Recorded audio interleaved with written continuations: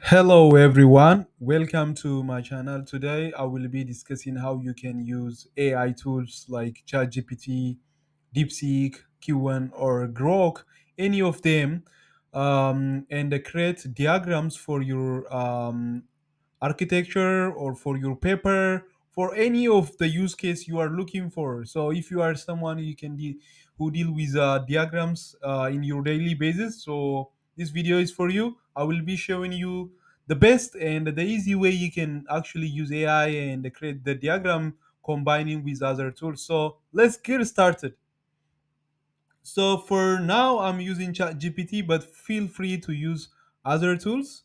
So um, I already have the the prompt. So to save your time, so since I'm a developer, so I'm using for to um, draw like university management system architecture here. So I'm asking, I need to create a component diagram using Mermaid. So I'm using Mermaid here. So at the end of this video, so make sure to stay at the end of this video because I'm going to give you a bonus that will actually give you the best way you can use AI and other tools to create any um, diagrams for like different domains. So stay stay tuned until the end of the video. So for now, I'm going to use Mermaid, and I will be dis- providing the um, detailed description about my architecture as you can see here. So I provided detailed architectures.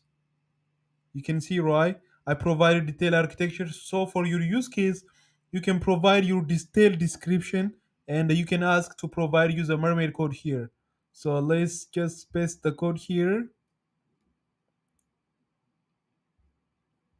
so now ChatGPT will provide me the code the mermaid code as you can see here. So there are other libraries and other tools that you can use. So i will be showing you after this video but i'm going to show you this as an example here. You can see very beautiful. So it is providing us the detail architecture for mermaid. So to render mer- mermaid you can use mermaid.live here. So let me remove this one here.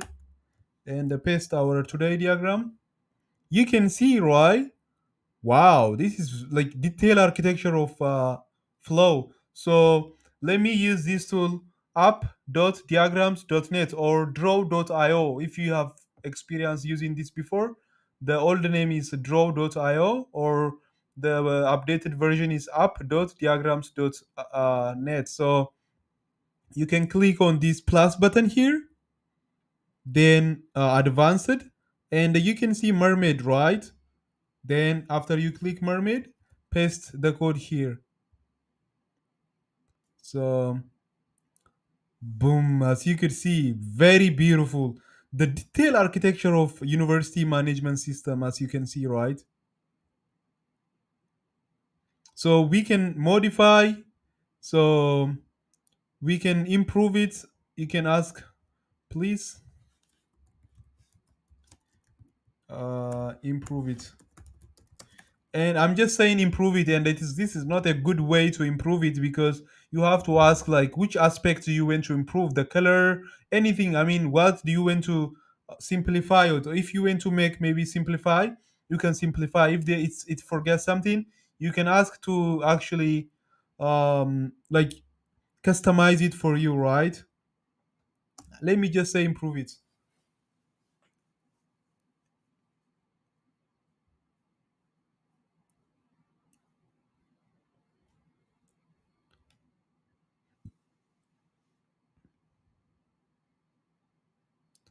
So this is a okay the one i provided before. Now it give me this one the updated one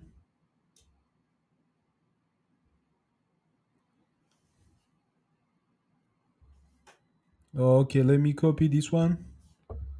Paste it here. You can see right i think it is very complicated. For example you can just say make it simple. Let me just make it simple. So i'm just i'm just i'm just showing you how you can actually so this is not the right uh, prompt to use but I'm just showing you you can modify. You can modify, you can change the color, you can add some like um part, some component to the diagram. You can ask the tool to provide you to modify for you, right? You can see, right, how beautiful it is. So uh, let me just use. Do you remember the steps? So plus button, advanced mermaid, right?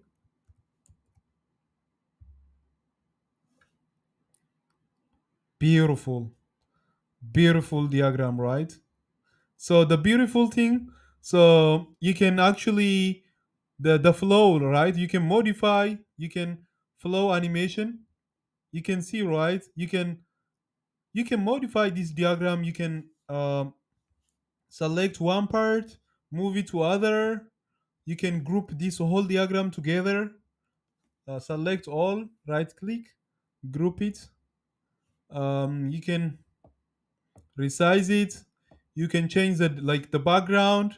You can actually um, work around and you can you can see it have a lot of features right?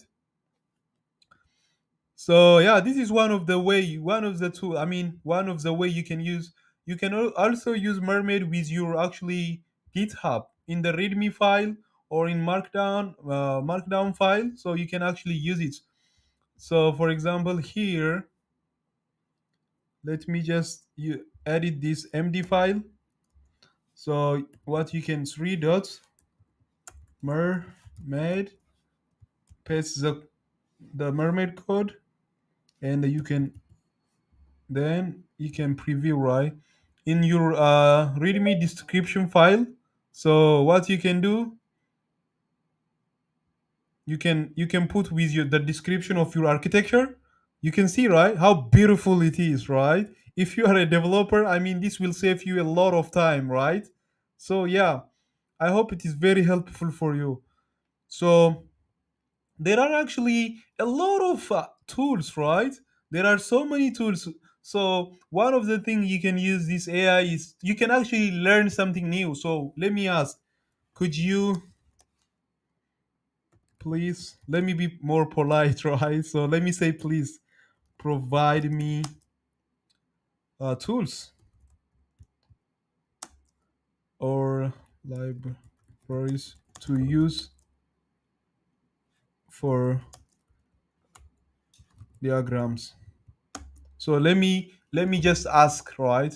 So what kind of tools or libraries we can use um,